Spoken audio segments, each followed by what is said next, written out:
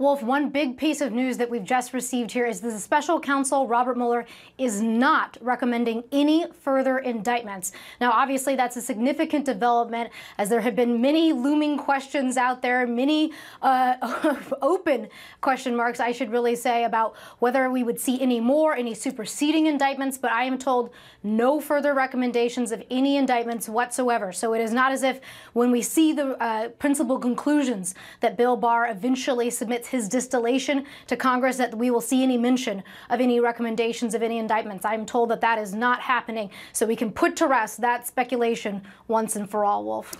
Uh, it does, that doesn't necessarily mean that other U.S. attorneys in the Southern District of New York or the U.S. attorney here in Washington, D.C. or Northern Virginia, they can pursue legal action, right? Absolutely. And we should make that point that there are certainly been spin offs, so to speak, from much of Mueller's work. We've seen him already farming out certain cases here uh, to the D.C. U.S. Attorney's Office, also uh, the Eastern District of Virginia, and of course the Southern District of New York, which is handling the Michael Cohen investigation. So we have seen outputs from his investigation, uh, but we are not going to receive any further recommendations from Mueller about the core uh, work of his mandate, which was Russian interference in the election, obstruction of justice. All of those issues were really central to what he was put here to do. No further indictments on that front, Wolf. From the uh, from the special counsel, uh, but uh, presumably some of those who were brought before grand jury, some individuals who have not been indicted, they can't necessarily completely you know breathe easily because there could be indictments coming from these other U.S. attorneys. Well, certainly anybody who has currently been before a grand jury, anybody who has lied, they are certainly in jeopardy. That is that is certainly not uh, off the table here. But in terms of any fresh indictments, any fresh investigative work, that has all been put to rest. Shimon, uh, you know, you've been watching this uh, from day one, and you're watching the drama unfold even as we speak. Yeah, and this line that we're getting now from this justice official that Laura Jarrett is talking to is probably one of the most significant pieces of information in all of this, because there's been so much speculation from everywhere. Uh, a lot of pundits, certainly, people on both sides, the Democrats, Republicans, all speculating. Certainly, a lot of people speculating more is coming. Robert Mueller is going to indict this one. He's going to that's not happening, right? It's very clear, and I think that is a very important point. And I think what you said, Wolf, the fact that this is now, there are parts of this investigation, as we've said, you know, Evan talked earlier about curious connections. There are a lot of curious connections. The FBI is going to continue to investigate those curious investi- connections. That's not ending anytime soon. There's a, an entire counterintelligence investigation into Russia. There are other people, certainly, that are involved that they're investigating. So the investigation itself, in terms of other parts of this, is not over.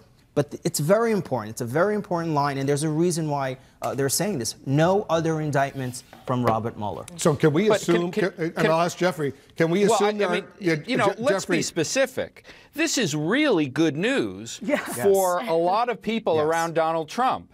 Donald Trump Jr., Jared Kushner, uh, Jerome Corsi, um, the writer who had a draft indictment presented to him by uh, Mueller's office, and they decided not to go forward with this. I mean, this is, you know, let, let's be fair here. I mean, you know, there has right. been a lot of suspicion around uh, certain people, and a lot of, you know, negative things have been said, and imputation of criminal activity, and, and, and uh, uh, Mueller has said, I am not proceeding, and it is, th- there is no better news mm. to receive, than you are not being indicted well, by the United Jeffrey, States government. Uh, you once uh, worked as a prosecutor. So when the senior justice official tells Laura Jarrett the special counsel is not recommending any further indictments, can we conclude there are there have been no sealed indictments yes. that uh, would be unsealed at some point down the road?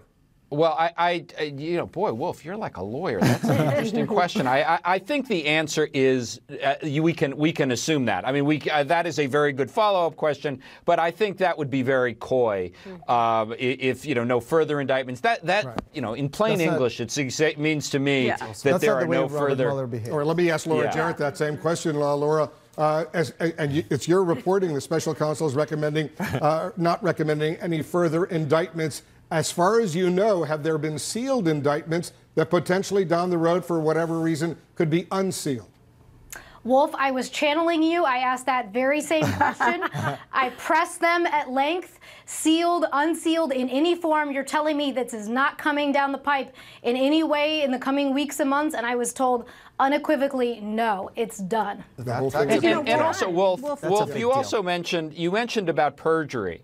You know, if if um, uh, Robert Mueller thought that witnesses committed perjury, he would have charged it. Right. Because he That's did right. charge. He did charge several people with making false statements. So you know the idea. You know, I know there are Democrats out there who want to keep the Mueller ali- investigation alive until you know Malia Obama is running for president. But I mean, it's not. I I mean, it's over. I mean, this investigation is over. And don't forget- And you know, the Southern District will continue, and that's significant. But you know, the Mueller investigation is over. Right. And don't forget that this is a president who has been uh, tweeting, talking, whatever, about witch hunt 175 times. Uh, Thank you very much, Evan. He's been he's been he's been doing that for the last two years. Uh, ever since James Comey, almost two years to the day, testified before Congress that the FBI had opened an investigation into potential Russian collusion. So if, if, as Jeffrey is saying, they, they get great news. There's, fir- the great news is, first of all, there's no more indictments. But if suddenly the president has to say those angry Democrats who were, were, who were working with Bob Mueller were actually just part of a Justice Department doing its job after he has criticized the Justice Department. And he's been vindicated by them, essentially. And, vindic- and then he's now vindicated exactly how you know how do you manage that politically? I mean, we obviously can't jump the gun here. We have to we have to see what what comes out from Barr and what's in the and what's in the report. But if I'm at Mar-a-Lago with the president, as Pamela's been reporting, the lawyers are um, Feeling good. that that that I would be I would be very happy. Yeah, absolutely. And let's not forget, I mean, I know we've said it, but this investigation is over and the president never sat down for an interview with Robert Mueller. That is huge. That was always the big question and something the lawyers never wanted to happen. And they were able to prevent that and prevent any sort of subpoena fight. And we're learning today that Robert Mueller never actually put in the request that was rejected in any way, according to this letter from Barr.